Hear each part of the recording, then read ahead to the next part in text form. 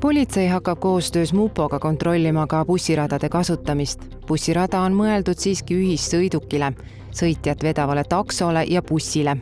elektriautole ja jalgratturile, kui liikluskorraldusvahend seda lubab lisaks tööülesandeid täitvale operatiivsõidukile pöörde sooritamiseks, sõitjate maha- ja pealeminekuks, nii et see ei sega ühissõidukit.